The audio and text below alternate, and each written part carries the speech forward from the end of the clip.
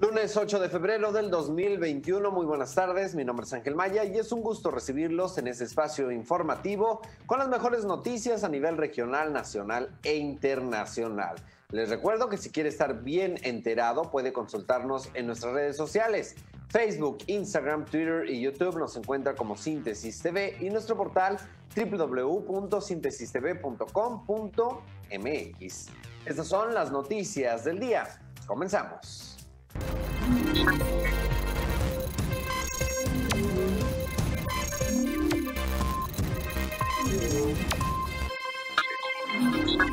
Es que usted tiene planeado visitar las oficinas del INE para tramitar la credencial para votar, ármese de paciencia porque continúan las largas filas en estos módulos. Nuestra compañera Ivonne Hernández nos informa. A pocos días de que finalice el plazo para realizar los trámites de inscripción o actualización de la credencial para votar, se han registrado largas filas en los módulos del INE y la población acude al lugar desde las primeras horas de la mañana o en ocasiones desde la noche anterior para poder obtener una ficha que le permita recibir atención. Algunos esperan en la fila por horas con la esperanza de ser recibidos y poder realizar su trámite, aún a pesar de no alcanzar una ficha. Pues más que nada tuvimos que madrugar desde anoche, desde como a las 6, 6 7 de la noche, para poder alcanzar y poder llegar a, a recoger una ficha. Pues es que sí, hay temor, pero pues es un documento oficial que tenemos que tener y más que nada necesitamos un poquito de, pues, de coordinación, porque no hay coordinación y a veces pues todos queremos el documento y a veces hay personas que se meten y se genera un poquito de problema, pero madrugando todo se puede. De acuerdo a información proporcionada por los ciudadanos, se están entregando en promedio 100 fichas diariamente, por lo que han tenido que armarse de paciencia, ya que las filas le dan la vuelta completa a la manzana. Nos ponen de fecha el 10 de febrero como máximo. Ahorita comentan que nada más dieron 100 fichas. En un trámite tan importante no se me hace justo que estés, no sé, la semana pasada que vine, estuve, llegué a las 9 y salí a las 3 de la tarde por una cita. Al siguiente día vengo y me pidieron otro documento. Se perdió la cita y ya perdí tiempo de trabajo. Ahorita traigo, como le comento, credenciales de todo, papeles de escuela y todo en una reposición. Se supone que ya estoy registrado, es para que fuera más fácil la, el trámite y al contrario, creo que es como si fuera a sacar la, la primera vez. El INE ha señalado que tanto el personal que labora en los módulos de atención ciudadana como quienes realizan algún trámite deberán portar de forma obligatoria su cubrebocas y acudir solamente el interesado, a menos que la persona requiera de asistencia. Temprano, pero este otros estuvieron desde las 12 de la noche aquí esperando y dicen que nada más están dando 100 fichas para los que no tienen cita, pero somos, sobramos más los que todavía estamos en espera pues para ver si nos pueden atender, porque se supone que hasta el 10 de febrero tenemos este para tramitar el, el INE para votar y pues somos demasiados como para que nada más den 100 fichas por día y estamos esperando pues a ver si nos van a atender o no. El plazo para realizar el trámite culmina el 10 de febrero y entre los documentos que se requieren se encuentra el acta de nacimiento, una identificación y comprobante de domicilio. Aunque muchos de los ciudadanos consideran que puede ser un riesgo salir a la calle en plena pandemia, otros tantos puntualizan que es un documento indispensable, por lo que es importante solicitarlo y tomar medidas preventivas. Informó para Síntesis Noticias. Ivonne Hernández. En otras noticias, continúan las manifestaciones por parte de elementos de la Guardia Estatal de Seguridad e Investigación en las instalaciones de la Fiscalía General del Estado. Esto principalmente en los municipios de Tijuana, Ensenada y Mexicali. Los manifestantes piden que se aclaren los descuentos que recibieron en su nómina, así como la explicación de los recortes de personal que han sucedido recientemente dentro de la organización. Entre las exigencias se encuentra la creación de una comisión de vigilancia con el fin de conocer el presupuesto que otorga el Congreso del Estado para los beneficios de seguridad social. También la implementación de una mesa de trabajo que ayude a la Fiscalía en realizar mejoras a los cuerpos policiales. Además, explicar la razón por la cual se ha retenido dinero de manera injusta por parte de esta institución. Para esta protesta se ha unido la Asociación Civil Hermandad de Sangre Azul, quienes invitaron a los miembros de la Guardia Estatal a portar un parche de color rojo con la leyenda Trabajo bajo protesta. La Oficina de Aduana y Protección Fronteriza emitió una alerta de búsqueda de una persona que atacó a un agente de la patrulla fronteriza el pasado martes 2 de febrero. Cuando entró ilegalmente al territorio estadounidense, la dependencia de San Diego señala que el sospechoso podría tener puestos eh, un par de guantes blancos y en las imágenes se puede observar cómo las autoridades estadounidenses se encontraban realizando la búsqueda del agresor. Sin embargo, finalmente los agentes no lograron dar con su localización. La Oficina de Asuntos Públicos de San Diego pide a la población que si tienen alguna información que ayude a dar con el paradero del criminal, se comuniquen al 619-216-4182 o vía correo electrónico a sdcicd.cbp.dhs.gov.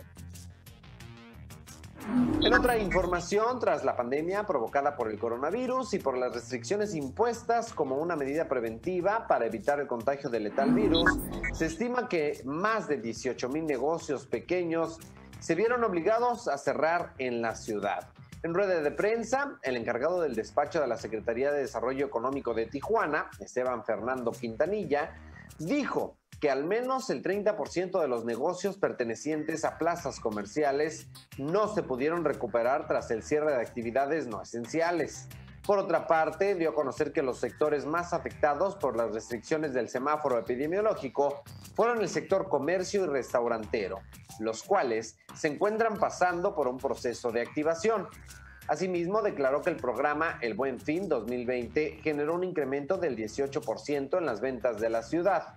La pandemia provocó que las personas comenzaran a comprar más productos en línea a nivel nacional, lo que presentó un crecimiento del 225% en comparación a los últimos dos años. El carril de cruce médico y de negocios en San Isidro recibe aproximadamente 400 usuarios diarios, así lo informó Esteban Fernando Quintanilla, encargado del despacho de Sedeti. En total, se estima que al mes cruzan cerca de 12 mil personas por el carril, indicó, y a estos pases le generan a Tijuana un ingreso de 2.5 a 3 millones de pesos mensuales que son destinados al fideicomiso Fondo Tijuana. Se dio a conocer que el 92% de los pases vendidos corresponden al sector médico y el 8% al turismo de negocios. Este último fue abierto a través de las cámaras empresariales para los inversionistas en Tijuana eh, que puedan realizar, agilizar su regreso. Precisó que anteriormente algunos usuarios vendían estos pases a personas que no asistían a una consulta médica, por lo que se procedió a la depuración de farmacias y médicos que hacían mal uso de este servicio. Vamos a una breve pausa comercial y regresamos.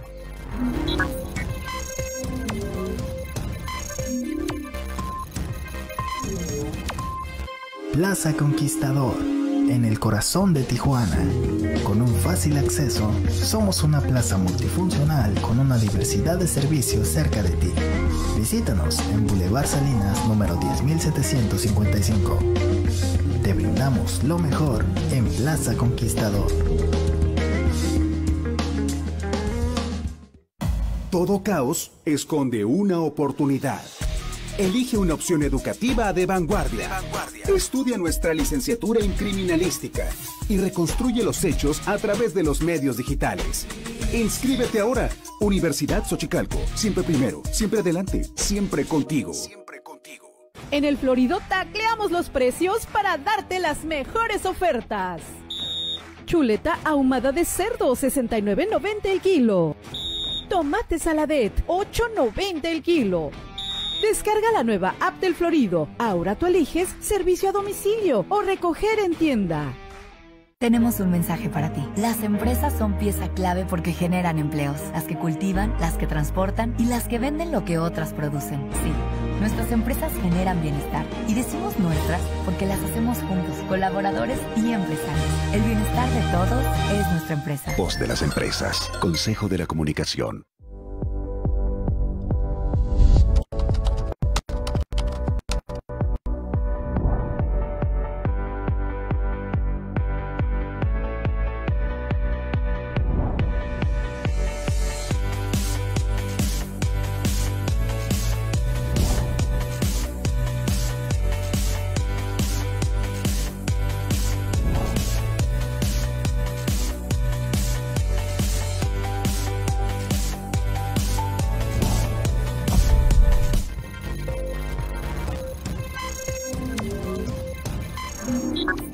Gracias por continuar con nosotros y nos vamos ahora a San Diego. El estado de California se ha movilizado para ofrecer la vacuna a la población de San Diego y también los esfuerzos continúan.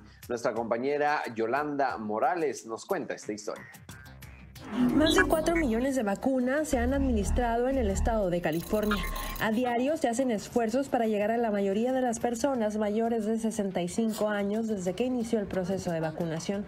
En San Diego este fin de semana, Family Health Center ofreció un día sin cita para que las personas llegaran a vacunarse con facilidad. Lo que estamos ofreciendo es la vacuna moderna, que es una vacuna que se pone, ah, se pone la primera y después 28 días después se pone la segunda dosis. Entonces cuando vienen aquí les ponemos la vacuna y les hacemos cita. Promotores de la salud como Janet Adameo confirman que es necesario que la población acuda a vacunarse en tiempo y forma porque con la vacuna es la única forma que se acabará con la pandemia.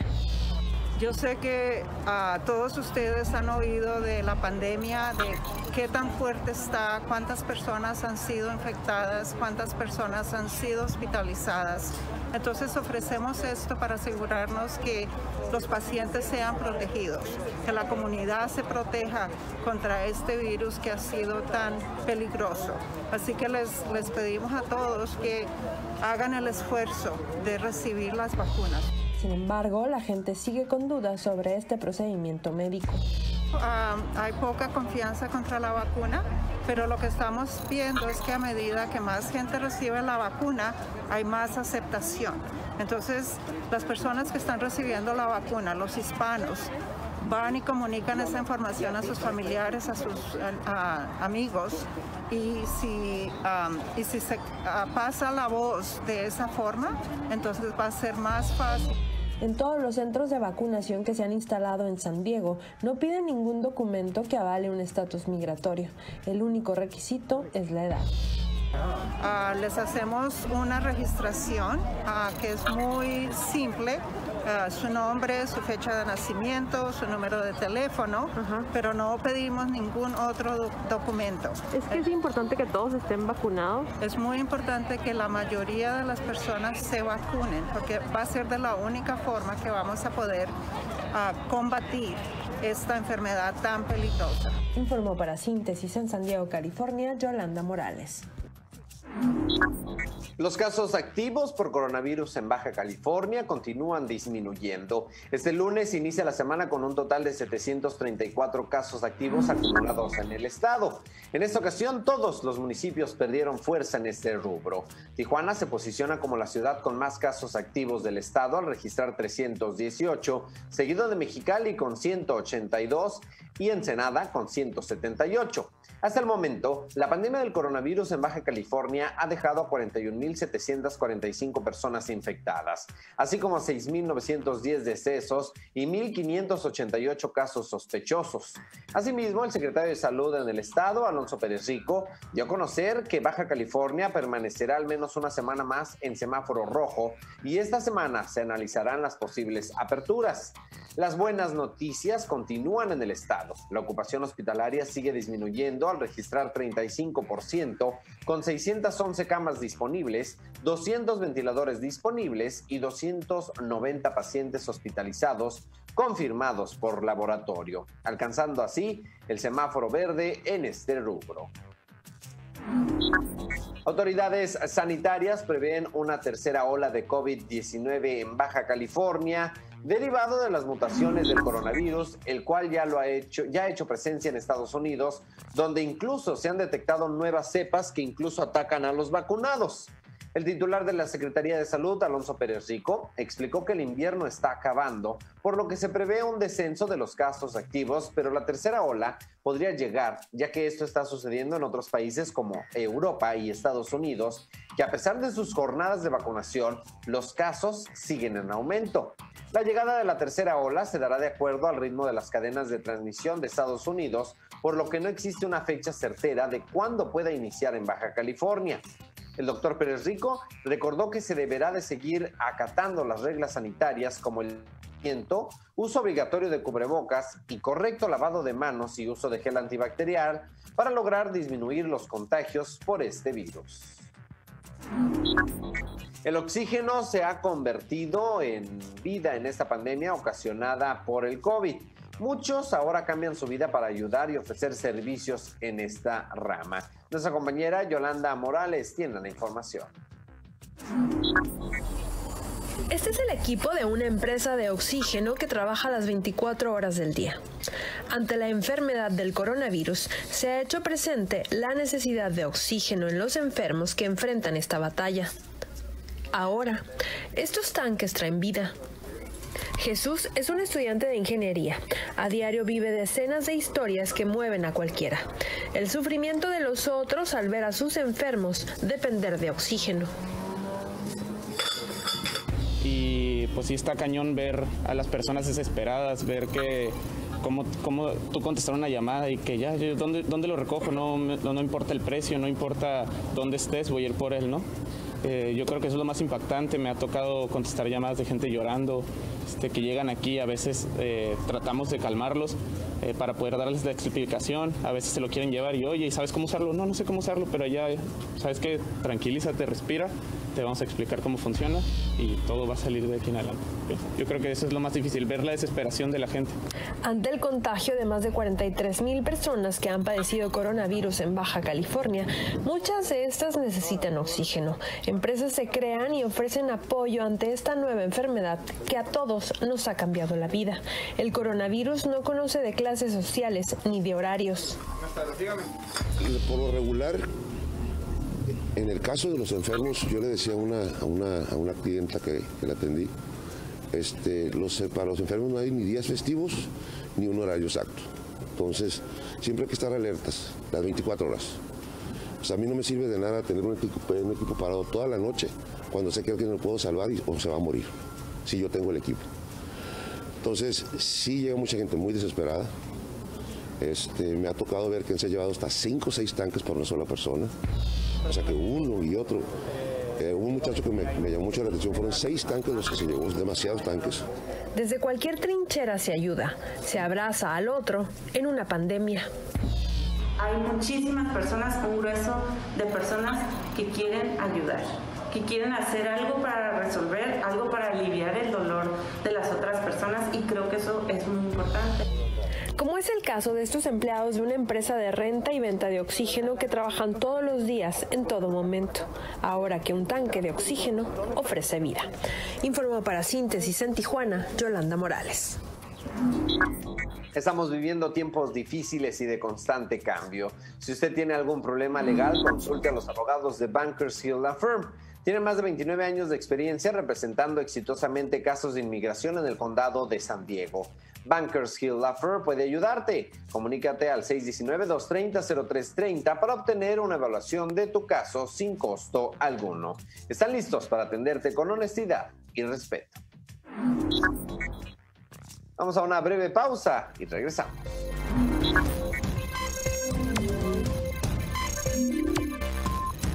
Del Tijuana le brinda a usted la experiencia necesaria y los recursos para ofrecer un evento exitoso. Con más de 11 espacios disponibles, le ayudaremos a seleccionar el lugar perfecto para su presupuesto y objetivos. Desde opciones de montaje, entretenimiento y decoración detallada a cargo de nuestro equipo profesional de eventos. Su ubicación céntrica y su amplio estacionamiento hacen a Grand Hotel el lugar ideal para todo tipo de eventos, sociales, así como seminarios, conferencias y eventos de negocios. A mí me laten los ahorros de Corazón Ley, con ofertas que me llegan. Detergente hace 99 pesos. Papel higiénico More Value 14.90. Foggy Ultra Confort 220 pesos. A mí me late ahorrar en ley. Ahorros de corazón.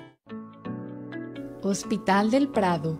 Con más de 45 años de experiencia ofreciendo la excelencia en la práctica médica Certificados en trasplantes multiorgánicos, contamos con reconocimientos internacionales que respaldan nuestras prácticas del más alto nivel. Nos acercamos a la comunidad para dar atención, seguridad y contribuir a la protección de la salud. Hospital del Prado, tenemos un mensaje para ti. Las empresas son pieza esencial porque ayudan a quien más lo necesita y cuidan la salud de sus colaboradores. Sí, nuestras empresas generan bienestar y decimos nuestras porque las hacemos juntos, colaboradores y empresarios. El bienestar de todos es nuestra empresa. Voz de las empresas. Consejo de la Comunicación. Continúa la actividad de la Liga MX. El Guardianes 2021 arranca con su jornada número 5. Partidos importantes con el Necaxa contra Cruz Azul, el América contra el Puebla y el Monterrey contra Pumas. Vamos a platicar de este fin de semana de finales del campeón del Super Bowl y de la Serie del Caribe. Esto y más aquí en Síntesis Deportes.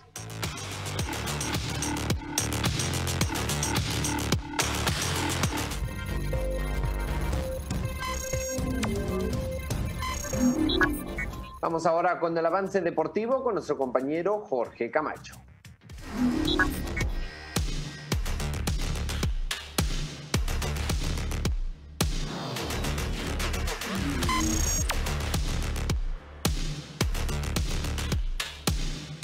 Bienvenidos a la sección deportiva. Se disfrutó, se lloró, se alegró, se reclamó, pero sobre todo se llevó una increíble sorpresa a todos los fanáticos en el Super Bowl con el equipo de los Buccaneers Tampa Bay superando 31-9 al equipo Chiefs de Kansas City. Y un Tom Brady que llegó a siete anillos del Super Tazón, cinco veces MVP y para Bruce Arians su primer anillo como head coach, recordando que ya tuvo dos como asistente coach en Pittsburgh.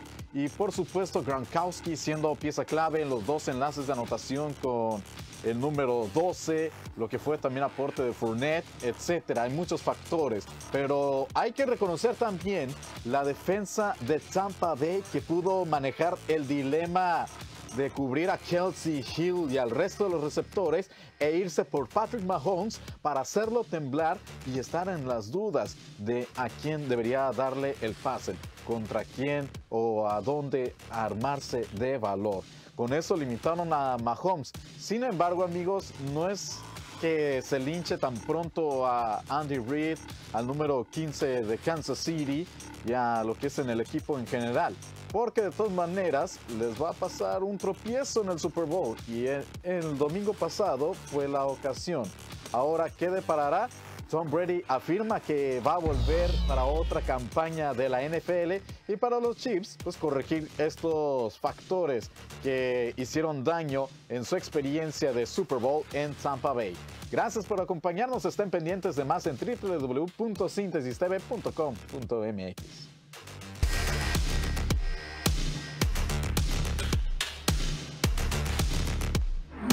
Vamos ahora con el tweet del día con información relevante que se convierte en tendencia a nivel mundial.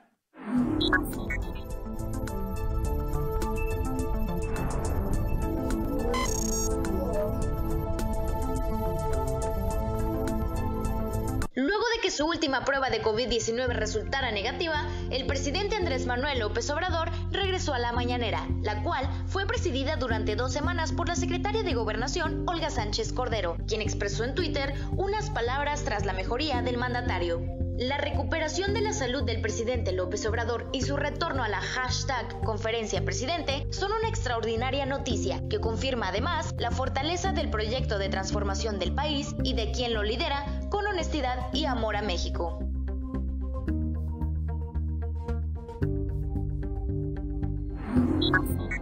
Hacemos una breve pausa comercial y regresamos.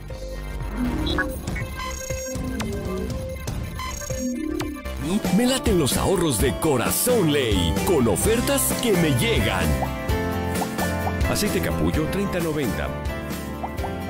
Mayonesa McCormick 48.50. Cóctel Kermato 24.90.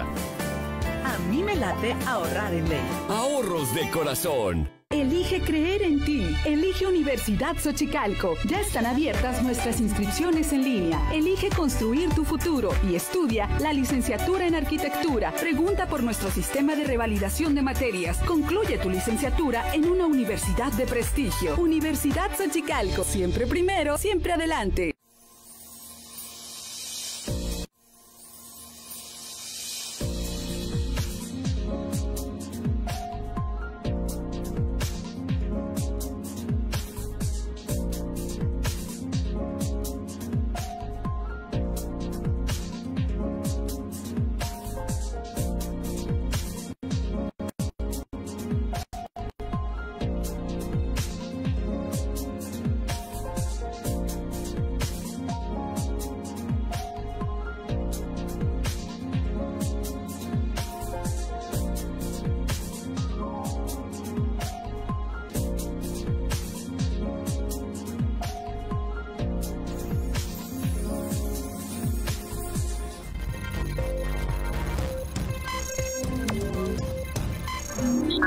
Estamos de regreso y este lunes, mediante un comunicado, la Junta Municipal de Reclutamiento de Gobierno Municipal informó que, informó que los jóvenes de la clase 2003 chilenitos que quieran realizar el trámite para obtener su cartilla militar nacional tendrán hasta el próximo 15 de octubre del 2021 para iniciar este proceso, los jóvenes que estén por cumplir 18 años en los meses de enero a diciembre deberán presentarse en las oficinas de esta dependencia municipal para su registro.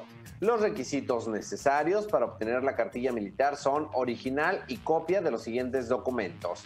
Acta de nacimiento, certificado de estudios, cuatro fotografías a color tamaño credencial, impresas en papel opaco con fondo blanco, tomada de frente, comprobante de domicilio, original y copia, identificación, copia del CURP, además de proporcionar un número de teléfono y correo electrónico. En el caso de los remisos nacidos de 1982 al 2002, que nacieron fuera del municipio, deberán presentar carta de no registro para la cartilla militar expedida por la Junta Municipal de su lugar de nacimiento que especifique el nombre, fecha y lugar de nacimiento y comprobante que acredite seis meses de residencia en Mexicali. El horario de atención es de lunes a viernes de 8 de la mañana a 3 de la tarde en las oficinas de la Junta Municipal ubicada en Avenida Reforma y Calle Morelos número 508, primer cuadro de la ciudad. Este 2021 la imposición de ceniza se llevará a cabo el 17 de febrero, pero debido a la actual pandemia de COVID-19, la tradición será un poco modificada, ya que los sacerdotes no podrán tener contacto con la ciudadanía. Es decir, a diferencia de todos los años, no podrán colocar la ceniza en la frente, por lo que ésta será rociada encima de las cabezas. En la ciudad de Tijuana, esta ceremonia será presencial, así lo dio a conocer el arzobispo Francisco Moreno, pero se deberán seguir estrictamente los protocolos sanitarios a fin de disminuir los riesgos de contagio por el COVID-19. Todas las personas que acudan a la ceremonia deberán portar su cubrebocas. También informó que para aquellos que no puedan salir de casa, habrá oportunidad de que los demás se lleven las cenizas a sus casas para que no se expongan. Que el sacerdote no toque ni el rostro ni la frente de las personas. Por eso la iglesia ha dispuesto que sencillamente tome la ceniza con sus manos y que la deje caer sobre la cabeza de las personas, sin tocarlas. Incluso no será necesario que esté repitiendo con cada uno,